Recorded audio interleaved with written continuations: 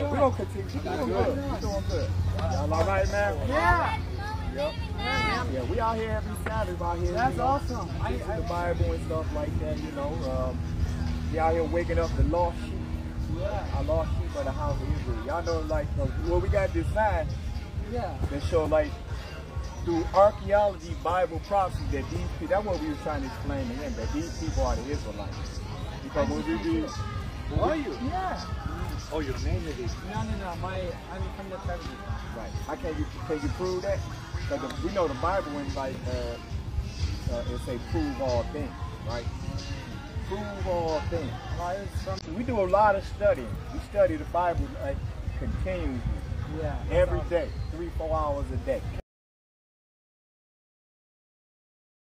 They still kept wherever they lands they dwelt in, they still kept it. That's why we read in Acts the second chapter where it say that the Jews came up, they come up every year, no matter what land they was in, keep the feast.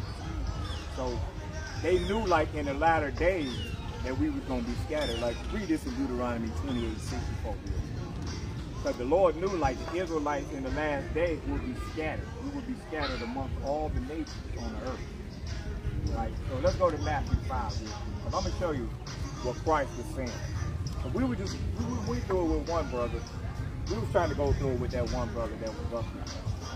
He was kind of asking us the same question. Right. In uh, 64. Watch this.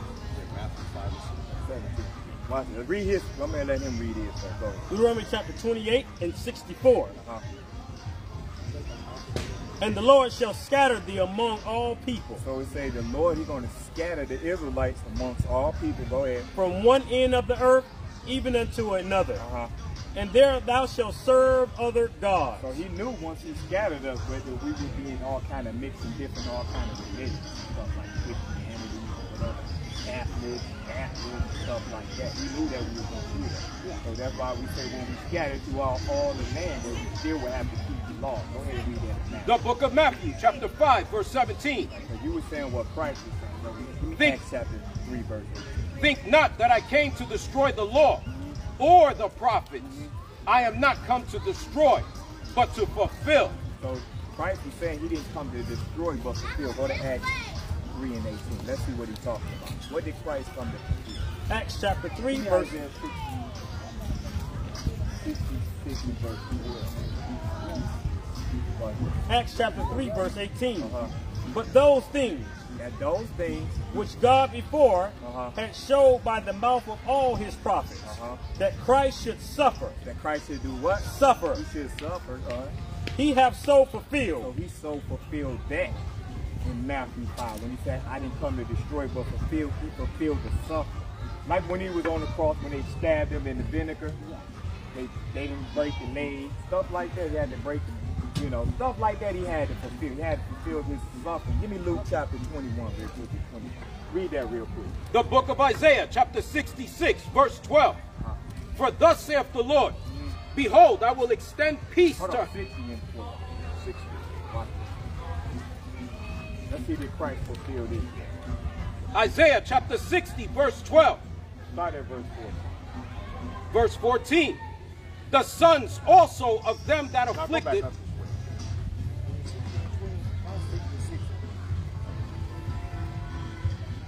Sixty, sixty.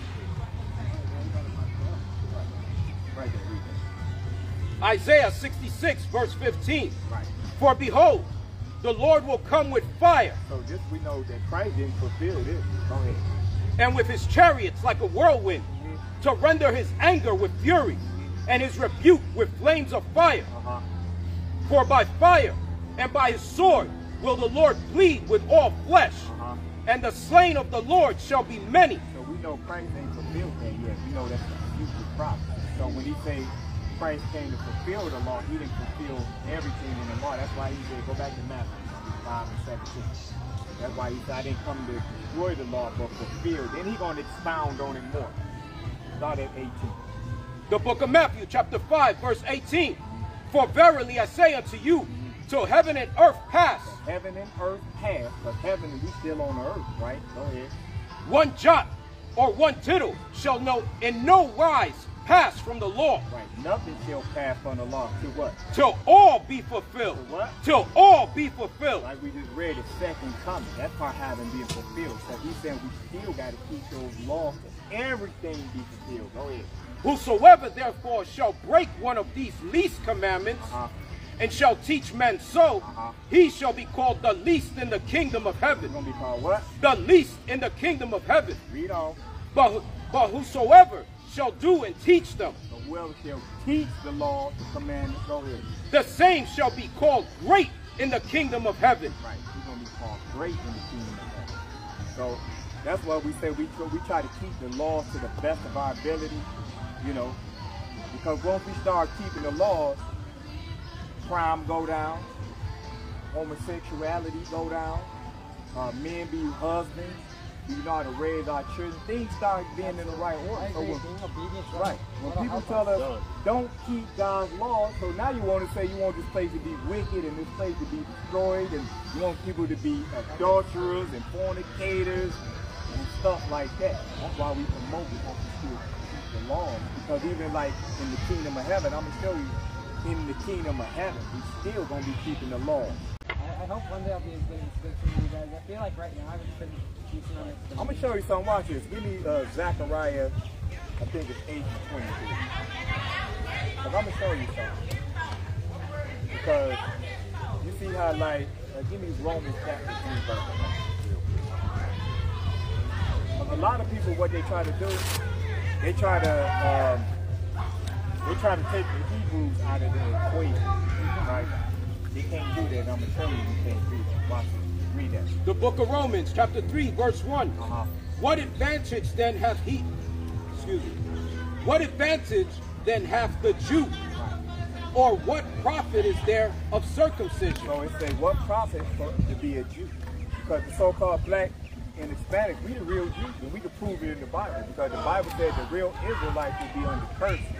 And one of the curses is they would go into slavery on slave ships. And we fit the prophecy all of the curses. Say that's why we got these signs. If y'all see why we got these signs, say we were going to slavery on ships. We will be scattered throughout the four corners of the earth. Our sons and daughters will be given into another people. The Bible says that we will become, we will be like uh, uh, majority of will be in jail or in prison houses. So we fit all the curses that the Bible said that the Hebrew will be going through in the last days. That's why we say the people that's in Israel, they don't fit none of these curses. Because if you think about it, the people, the Jews, they own everything. They own the banking, corporations, they own the movie, the TV, the rap ladies, they own everything. So yeah, they don't fit no curses. Because the Bible that says that, that the Israelites would have no might or no power in their hand. They, would- they would have no economical might or no military might. So we just didn't wake up one day and say, hey, we the real Jews or we the real Israelites we started reading the Bible say, dang, this sound like this happening to me. This sound like this happening to my family. This sound like, cause it was saying, I'm gonna like read a curse for y'all. Give me um, Deuteronomy 28, where it say, um, that your sons and daughters, give me 32. But we know like when you read 68, you say the Israelites were going to slavery by ship. So we fit that, we fit all the curses. Read that. Deuteronomy chapter 28 and verse 32. Uh-huh. Thou sons and our daughters So if you look at this sign right here, say the sons and the daughters, go ahead. shall be given unto another people, Uh-huh. and thy eyes shall look and fail with longing for them all day long. Right, because in slavery, our sons and daughters in slavery was given into other people. And we had, we, we was looking for our kids, we couldn't get them back. Because they would sell you to Virginia, and they would sell like your sons and daughters, maybe off to like Florida somewhere. Right, go ahead. And there shall be no might in their hands. So we had no might in our hand to get our kids back. That's one of the curses that we fit by going into slavery. Right, so read that again. Romans chapter 3, verse one Uh-huh. What advantage then have the Jew? So the Bible said, what advantage of us being a Jew? That's why when you see, like, we can go to scriptures and we can uh, we can break them down or expound on, it, right? Go ahead.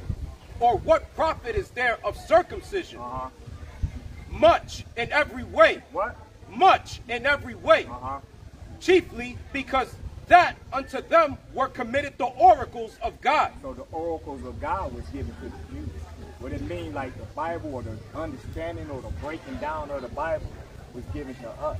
And Even the Daniel said it. He said in the last day that knowledge was going to increase. Like some things we don't truly have a full understanding, but more and more we study, the more knowledge it increased to us. Give me Zechariah real quick. You got that? 823. Go ahead. Zechariah chapter 8, verse 23. Mhm. Thus saith the Lord of hosts, Uh-huh. in those days In those days, so this talking about like now. Go ahead. it shall come to pass So future, because we're waking up now as the real Jews. Go ahead. that ten men That what? that ten men Uh-huh. shall take hold out of all languages That means all the nations. Go ahead. of the nations, Uh-huh. even shall take hold of the skirts of him that is a Jew. So that means all the nations would have to take hold of the skirt of a Jew. They would have to come and learn from us. That's what the Bible is saying. That ain't our interpretation of the scripture. That's why when we people come up and we ask all the people, are y'all willing to come learn from us? Some people say, no, no, no, no, no, we don't want to learn from y'all. But when you do that, you ain't obeying what the Bible say. It say that, that all the nations will have to take the skirt of him that which is Jew. You even know that Christ said that in John 4 22 said, Y'all know not what y'all worship because salvation is of. But give me Isaiah 2 and 2. I'm going to show you something real quick. What happened to the nations when they come and follow the real Jews? That's on your. Is that a watch right there? What is it? Oh, the Ten Commandments. That's, uh, that's, uh, Give me Isaiah 2 and 2.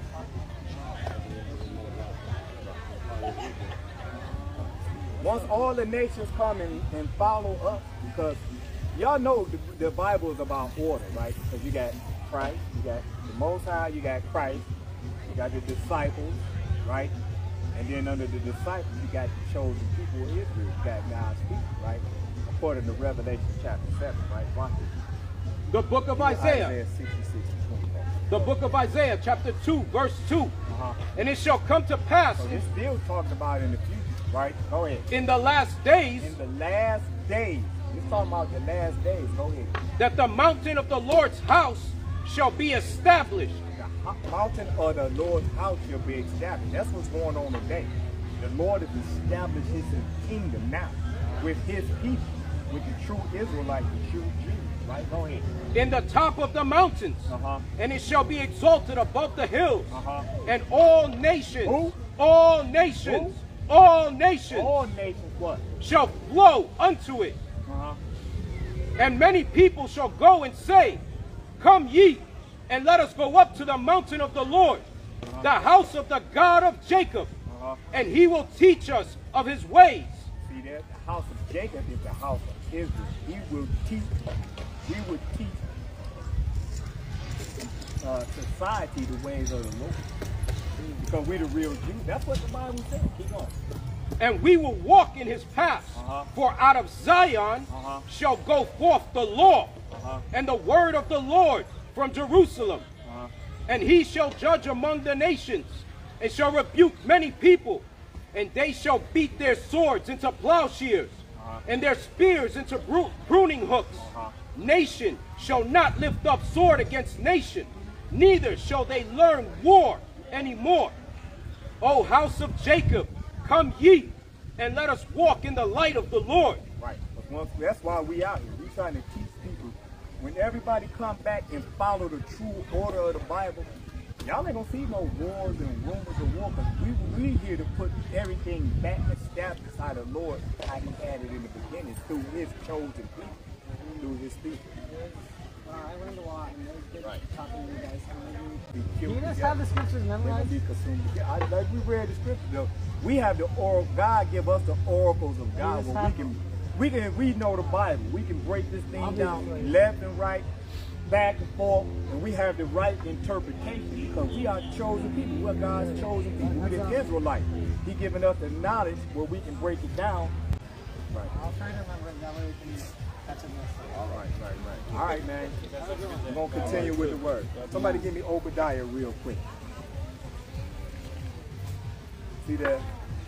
Like we do on these cameras. Y'all think like we just gotta bash everybody every time. You gonna get these Edomites. Our day gonna come Our judgment day. So y'all don't be fooled by this damn tape. And sometimes we gotta reel these Mormons in. We gotta reel them in and be nice with them. Yeah. Because if we don't be nice with them, they won't come up and talk to us. Yeah. So we gotta be nice to them. You know, we gotta we gotta do them, treat them right. And then at the end of the day, we're gonna take this pole and pop them upside the damn head. You know what Climb your ass up in that damn tree and go get me a coconut. That's right. All right. So don't be fooled by this damn tape because y'all can watch the tape where we bash these damn Edomites. We gotta reel them in sometimes, be nice with them. Let them be our little friend. They say we're gonna give them a hug and a kiss. So somebody read Obadiah chapter 1 and verse 12. We're gonna beat these damn Edomites up. They not getting off. The wicked shall not escape God's judgment. That's right. The book of Obadiah, chapter 1, verse 12. Read. But thou should not have looked on the day of thy brother in the day that he became a stranger. Right. Thou shalt not look upon them. Right? Go ahead. Neither should have thou rejoiced over the children of Judah. Right. They shouldn't have rejoiced over us, man. Done.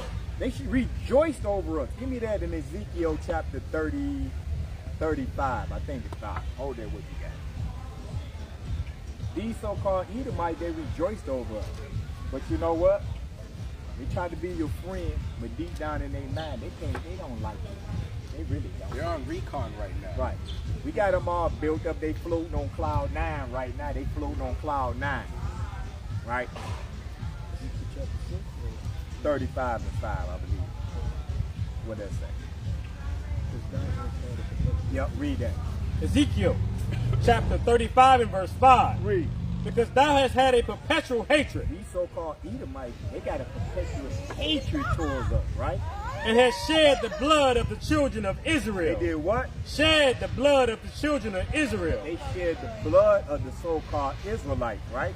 Go ahead. by the force of the sword. By the what? By the force of the sword. by the force or they sword. When you look at these signs, look at this guy with the beating back. They whipped us to death, right? They tortured our people, put yokes of iron on us. They oppressing our people today, right? Go ahead. In the time of their calamity. Uh huh. And that in the time that their iniquities had end. Uh huh. Therefore, as I live, saith the Lord God, Uh-huh. I will prepare thee unto blood. They gonna prepare them for what? Unto blood. They gonna prepare them for blood, right? Now let's read Obadiah again. The book of Obadiah, chapter 1, verse 12. Uh-huh. But thou should have not have looked on the day of thy brother in the day that he became a stranger. They shouldn't have never did that. Cause when we was traveling, going through land through land, right? They was laughing upon us, right? Go ahead. Neither shouldest thou have rejoiced over the children of Judah Right, they rejoice over us, man, in our calamities, right? Go ahead. in the day of their destruction. Right, uh-huh. Neither shouldest thou have spoken proudly in the day of distress. Right, they spoke proudly on us in our day of distress. Bring it out, Art. Proudly on us, man. Right, go ahead. Thou should have not have entered into the gate of my people in the day of their calamity. Uh-huh. Should have not have looked on their affliction in the day of their calamity. Right, they looked on our affliction, man, when we was going through our worst times. Right, go ahead. Nor have laid hands on their substance in the day of their calamity. Right, go ahead. Neither shouldest thou have stood in the crossway to These damn heathens, That's man. right. It's near. Right, but the Bible for all mankind. We obey the we obey the Bible. Right? We obey the Bible. We ain't gotta argue with these with these damn uh, uh Mormons. We ain't gotta yell at them. We ain't gotta tell them to bow down. They ain't gonna do it anyway. They ain't gonna accept us as they they not gonna do it. Right? continually, yea, down, and they shall be as they had not had not been. Uh-huh. Jump to verse 18. Verse 18. And the house of Jacob shall be a fire, Uh-huh. and the house of Joseph a flame, Uh-huh. and the house of Esau for Hallelujah. Hallelujah. Right? Right. No more remaining of them, man. We ain't gonna have to be worried about being oppressed because it ain't gonna be no more of them remaining. They're gonna be re- uh, uh, oppressing us in the kingdom, man.